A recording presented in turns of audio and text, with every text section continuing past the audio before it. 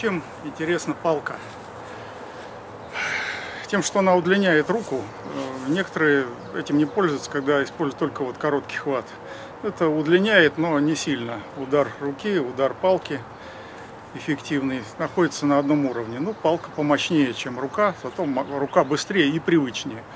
Руками мы пользуемся с рождения, а палку иногда только берем в руки, и то довольно редко. А удлинение происходит за счет свободного хвата палки. Вот мы держим палку, не вцепляемся в нее, а вот задняя рука у нас продвигается, вот была, например, передняя здесь, а задняя продвигается дальше. Вот. И это будет тычковый удар, может быть, может быть удар, да, или по-другому. Или удар боковой, может быть, да. То есть держали мы палку так, быстро довольно сменили, проскользнули передней рукой, и у нас пошла палка вперед. Вот, поэтому разные варианты. Э, палка должна быть как продолжение руки, поэтому и такой хват. Одна рука снизу, другая сверху, тоже очень хорошо бьется и легко меняется дистанция. Вот можно сказать. Вот. вот короткая дистанция, вот длинная дистанция. Короткая, длинная.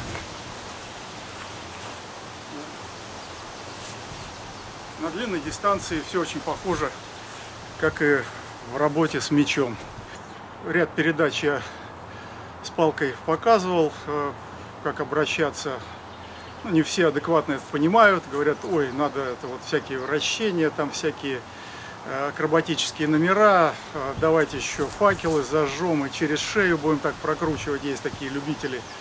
Ну, честь им и хвала, как жонглеры, они действительно могут показывать какие-то чудеса. Но на самом деле все значительно проще. И да, конечно, эти все упражнения по вращению палки, там, по перехватам всяким, вот, или там все это хорошо. Примерно так же, как нунчаку, кстати, перехват такие вот, да. Все очень похоже. Вот. Ну, хотелось бы какой-то комплекс иметь. Часть этих комплексов я показал, одиночные удары, там может быть с подключением ноги, двойной удар, скажем, раз, два, три. Все достаточно, достаточно просто и само естественно. Тычок, например, два, три. Да. Раз, два, три. Отсюда. Тычок сбоку. Или наоборот, сбоку. Тычок. И добавили туда или в корпус. Ударили в голову, тычок в голову, удар в корпус. Вот. Но э, мне интересно было бы, чтобы палка как-то входила уже разработанные комплексы. Э, те, кто занимался карате хотя бы там полгода, наверное, Хиян Шодан знают.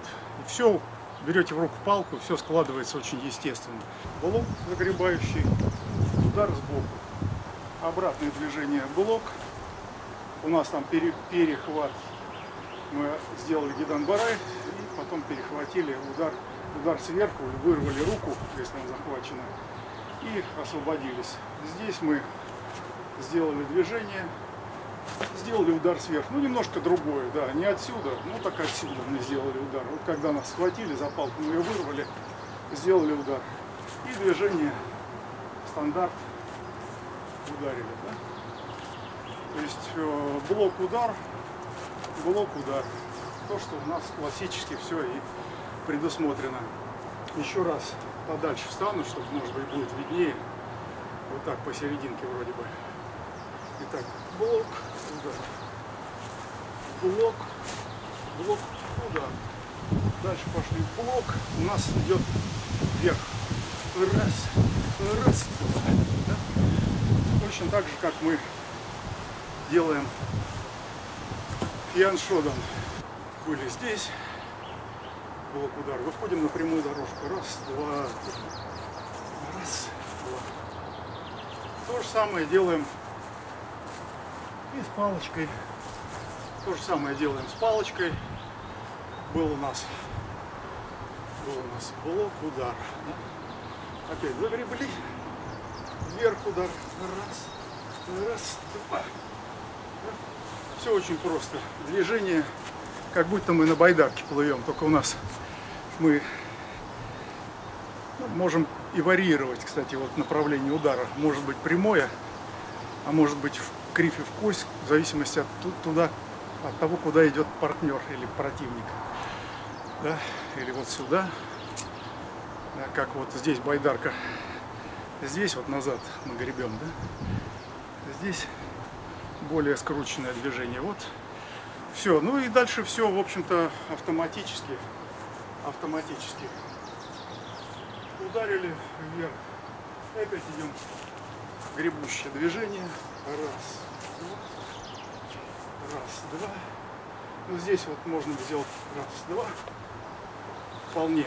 А можно чего-нибудь изобрести другое. Ударили в эту сторону. Блок. Удар. Удар сверху. Вот. Удар. Еще разок. Сделали блок.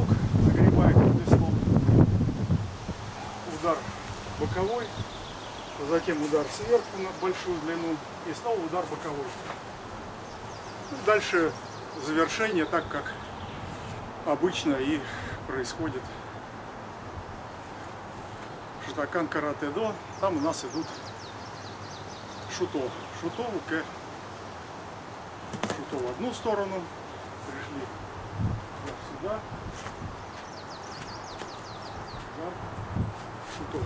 Раз, два. Раз, два. Также и здесь мы пришли в эту сторону. И можем как раз здесь как будто с мечом сработать. Раз, два, раз, два. На большую дистанцию. Можем попробовать работать иначе. У нас идет рука, мы вот такой можем сделать движение. Раз. Или можем сделать тычком, что, наверное, интересно. Ударили здесь тычком. Раз. Раз. Раз, два. Раз. И два. Раз. Два. Раз, два. Здесь поставить. Раз, два. Раз, два. И снова. Раз, два. Раз, два. Развернулись. Раз, два. Раз, два. Вот и все. Раз.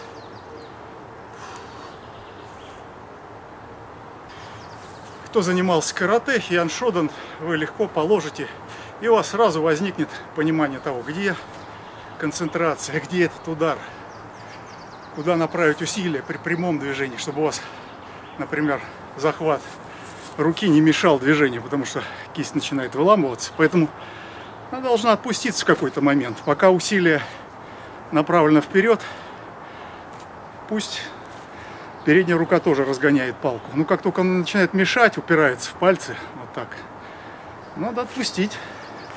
Также удар сбоку. Вот он идет и начинает выламывать руку, выламывать кисть. Вот как только у вас давление на мизинец возникло, отпустите. И будет нормальный удар. Есть специальная ката, шатакан карате до, называется дзите. Дзите там идет как раз работа палкой. И надо перехватывать его, видите. Раз.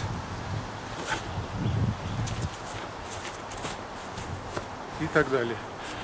Вот. Но это уже более сложные мотивы. То есть вот перехват палки. Да? Она не должна быть вот, зажата в одном положении. Наоборот, свободно. Зажимается только в момент удара. Резкий удар, все, вот, в принципе, если у вас палка, легкий удар, например, пах, раз, и все к вопросу о скорости. Обе руки действуют. Опа, опа. Вы вроде удар наносите перед собой, а он идет далеко. То есть вы ударили сюда, а долетело вон аж куда. Да? Не успеешь глазом моргнуть, быстрее два удара наносится, чем кадр проскакивает.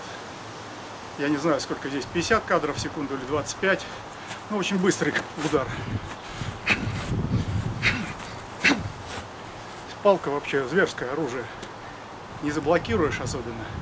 Ну, тяжело заблокировать, надо какой-то синхрон попасть с противником или с партнером, тогда можно заблокировать. Ну, даже если заблокируешь, рука может сломаться, то есть надо как-то пройти так, чтобы палка по касательной прошла. Хотел еще поправочки к прежней своей передаче э, сделать там, где показывал бункай для э, басайдай э, с мечом. Вот меч немножко по-другому, как вот хотелось бы сделать. У нас там есть такое движение, двойное АГУК. Двойное АГУК, потом удар по ребрам, потом удар в корпус. Вот здесь ну, я сделал несколько иначе. Если начнем мы с э, длинной дорожки, мы здесь отбили, отбили нижний регистр, замахнулись и сделали два удара. Либо режущих на себя, либо рубящих, если хватает мощности, меч не такой тяжелый. Вот. Или в зависимости от настроения. Дальше каратэ-до идет киме, блок и блок-удар, блок-удар. Вот. Но в таком положении делать киме с, киме с мечом как-то довольно странно. Поэтому мы здесь отбили, отбили, отбили. И мы делаем киме, как бы сбивая, сбивая меч противника и становясь в стойку. Здесь опять нижний регистр, верхний регистр. Встали в стойку. Теперь у нас э, удар-блок.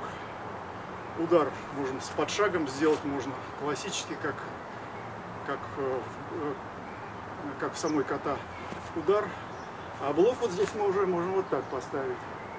Опять удар, блок. Вот здесь мы уже можем, поскольку замахиваемся сюда, здесь уже мы можем удар провести нормально. Лезвие может быть горизонтально, может быть вертикально.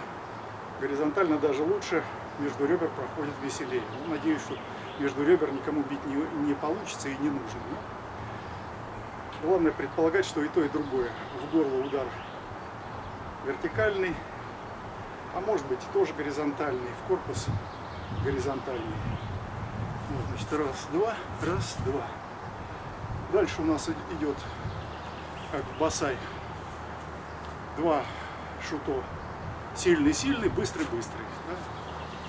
Какие они идут. Мощно раз, мощно два. И быстро вперед, назад. Дальше захват противника за руку, ломаем ему ногу и на шуто выходим. Здесь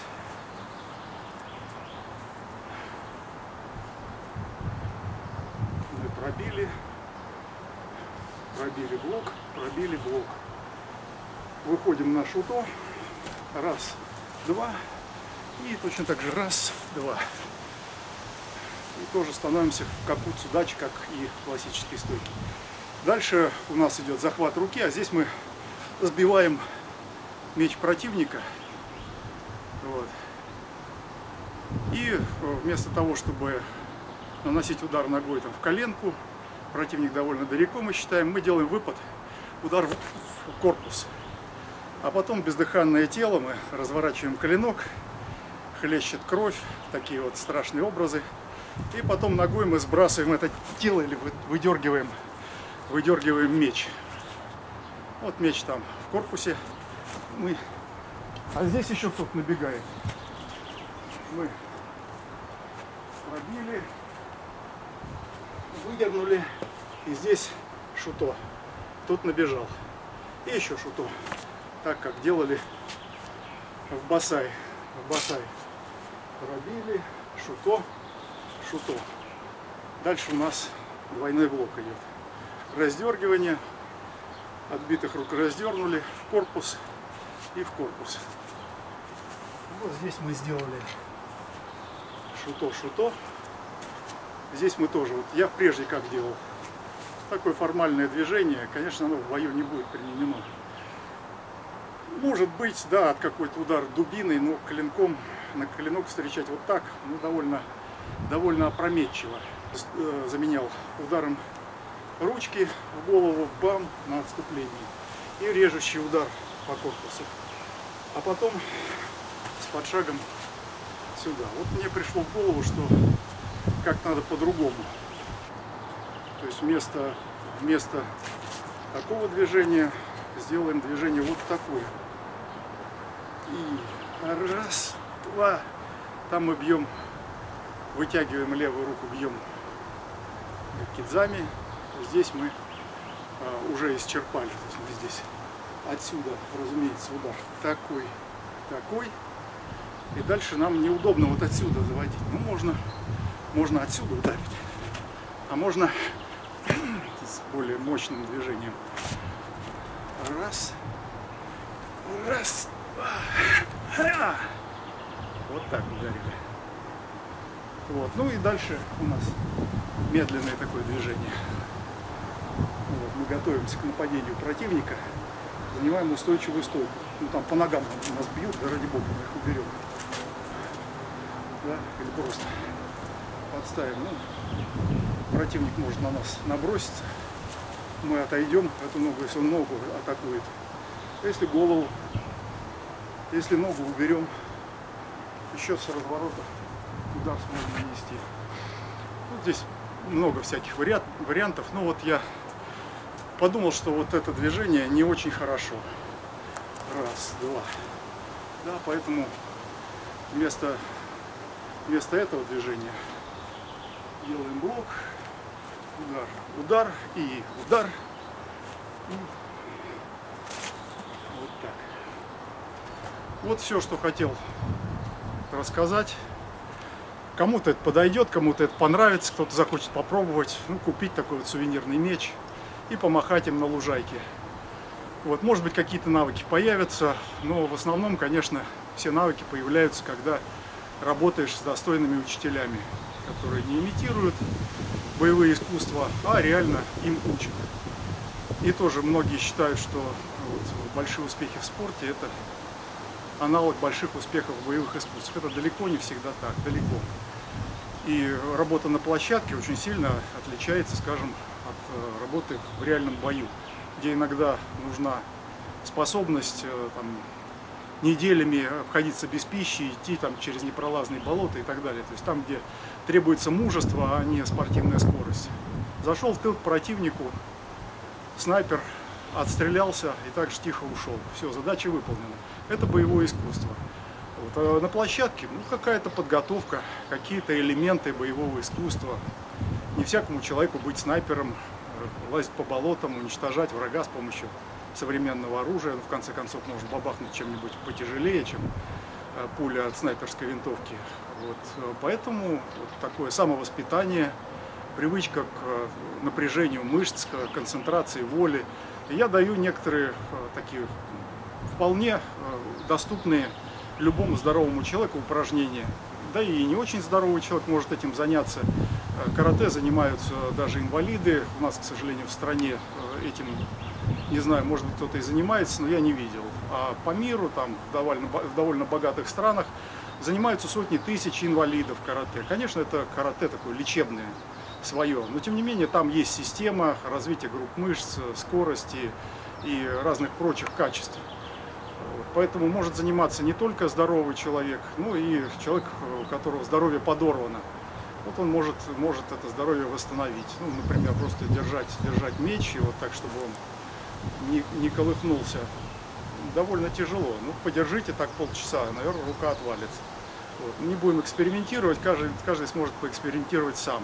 Вот меня э, тут на днях недавно совсем поразило упражнение, которое мне оказалось по возрасту трудно сделать или по э, личным каким-то качествам. Вы складываете руки на груди, становитесь на одну ножку, вторую оплетаете другую, закрываете глаза и пытаетесь держать равновесие. Это далеко не так просто, как кажется. С открытыми глазами куда как проще. Стоишь и контролируешь. контролируешь. Стоит закрыть глаза и начинается вибрация. Ступня не знает, как себя вести, и, и тело качает. Трудно, трудно вот закрытыми глазами устоять на одной ноге. Ну, по крайней мере, длительное время устоять не удается. И определенная тренировка нужна, и тренировка вестибулярного аппарата. И, кстати, расставив руки, значительно проще. Ты чувствуешь, лучше чувствуешь баланс. А вот сложившись э, в комочек, вот так постоять на одной ноге, тут нужно сосредоточение и как бы такое закрепление, закрепощение, закрепощение стопы, чтобы она не вихлялась в зависимости от положения тела, только меняла напряжение. Но это непросто. Вот рекомендую всем проверить состояние своего вестибулярного аппарата вот таким образом. Но во всем остальном, э, все, что показано вам по силам, вы можете заниматься боевыми искусствами, заниматься карате, приходить в залы. Вот, выберите себе площадочку и просто разомнитесь сначала, потом что-нибудь придумаете, усложните, там где-то боксерский мешок повесите. Все доступно, все для вас доступно. Вы можете заниматься карате, боевыми искусствами и тем умножать силу и славу своего отечества, своей семьи, своих, защищать своих родных и близких. Слава России, занимайтесь карате.